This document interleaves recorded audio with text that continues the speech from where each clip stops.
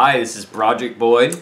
And this is Antje Boyd. And together we help singles to find the right partner to share their life with and be happier. And today we have another powerful question from a reader. And uh, this question is from a single woman, and she says, Hi, Brody and Antje. How, I'm curious about how you navigate physical attraction in dating. I find that I know pretty soon after meeting someone if I have physical attraction for them, usually within a couple of dates. But there are several awesome guys that I'm friends with that are spiritual, socially conscious, kind, attentive, but I don't seem to find myself attracted to them. I find myself saying he is only XYZ tall or doesn't have hair, has a funny accent, I'm way better looking than him. I don't think it's entirely about their looks it's about their energy confidence as well, since I have dated men who wouldn't be considered very physically attractive but carried themselves with a certain confidence. I sometimes feel guilty for being shallow, that I'm missing out on great guys, and that I'll never meet someone if I keep this attitude. But I do want a sexy and attractive man. Thoughts on having it all? Woo! I love that question. So here's the thing, right? I think definitely physical attraction is very important. I mean, I had my, and, and you know what? It's all about like, how do you relate to this, right? So I was standing mm-hmm. behind, okay, I'm superficial. Yes, to me it's important that my man is tall, that he has dark hair, and that he has light eyes. That's really important to me, and I don't care. I'm superficial if that's what it is, right? So that's number one, to just really back up your decisions if that's important to you. Look, you're gonna spend the rest of your life with this person, right? You're never gonna date anybody else for the rest of your life. So you have the right to choose who you want to have, uh, how you want the package to look like. However, what Brody and I always like to say is why is that important? What's the big why behind it, right? Mm. In marketing, we talk about features versus benefits, right? So like the feature might be the tall man, but maybe the benefit is just so you feel more protected or you feel more masculine. So maybe a man who's like slightly shorter might also make you feel very, he might still be very masculine. So this is just an example, right? Um, and there's there's so much more so that's number one to go into that and then number two is also to be aware of what physical attraction is. So are we talking about looks? Or are we talking about i'm gonna have you know like butterflies in my stomach and you know there's crackling chemistry?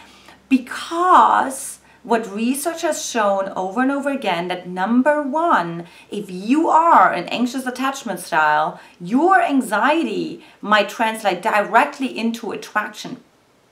So what that means to you is when you are attracted, when you actually have this really intense physical experience of attraction, mm-hmm. right away, right? You meet this guy, you don't even know anything about him, right? That, my dear one, means more like danger, danger, right? Because you're about to attract the same love pattern that you have attracted in the past and that in quotation marks did not work for you. So that's what you definitely want to be aware of as well. Yeah. Yeah, and I, I agree with Antje said. I said we say it's very clear to be it's very important to be clear on three things in your dating. It's your must-haves, the things that you know you absolutely have to have in your partner, the uh, deal breakers, which are the things that you absolutely can't have in your ideal partner, and then your wants or desires, which are in the middle. Now, the key is to be very firm on your must-haves and your um, your deal, deal breakers, but in the middle, the desires to be more flexible, to be more open, to being surprised by the universe. And with all of these, like what Antje said, to be clear on, on the deeper why. Why do you really want those things? What do you really want to provide? Like, for example, if Antje and me were going to be meeting each other on online dating, which we didn't, we met it in person at a workshop. Um, we never would have attracted each other because we were both thinking we wanted things that we didn't really want, like I uh, well, I wasn't that I, I did, said it, but like I wasn't expecting to have a woman from a European uh, woman, um, and also that the age difference. You know, I wasn't expecting a woman that was a little bit older than me, so we have about a difference about four years. But um, but the deeper why, what I wanted is I really wanted a woman who was intellectually that we can connect intellectually on all these different levels, which I got. And she also was saying she wanted a man with a master's degree and a certain was certain age older but that was because she also wanted that deeper intellectual connection. Exactly, exactly. Which is so to get clear on what you really want, so then you mm-hmm. can be surprised. There's that old saying: sometimes you you don't always get what you want, you get what you need, and the universe works in funny ways that way. So it's good to be clear on all those things and to be open to be surprised in in those deep in, with with what the package might look like, but that you get your deeper need fulfilled. So what we're really saying is when you meet a man and and you feel like, gosh, I just really like this guy, I just really gel with him, but he's so not my type. I just have a friend who totally is, is dating, is super happy with a guy right now who was so not her type, right? Then to let that go to really trust like i really like this guy i really get along with this guy who cares about your type you know research has shown that type is being developed through you know the, the relatives you had right or the friends you had. So it's so random how type is actually being formed in your brain and then it's actually not really relevant like who you're supposed to end up with. But really to trust yourself really we say this over and over again how do you feel in the presence of this man? How do you feel in the presence of this man right? You know i wanted to have somebody who's like an athlete. I was like running and i was swimming and and, and all of that. And and Rudy is he doesn't really like exercise. He doesn't really need it. He doesn't really like it. He has his own way of exercising.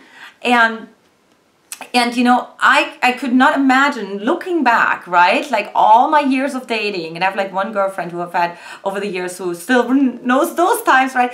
I cannot even imagine like th- there's anybody better for me than brody right? So to really really trust that and and just really see like how's this man making you feel on a daily basis, right? Yeah. And how compatible are you guys on all levels? Yeah. And also to be aware of do you want the human level where it's just compatible, or also do you want the soul level where you have a bigger purpose, where you have a bigger mission, a bigger calling in life? You're living for something bigger than yourself. Yeah. So yeah, super powerful. And the last thing I'll add is the five whys that comes from uh, I think from Socrates. So to, to say to ask yourself what you really want in your partner, but then to go five levels deep. Why do you want that? Why do you want that?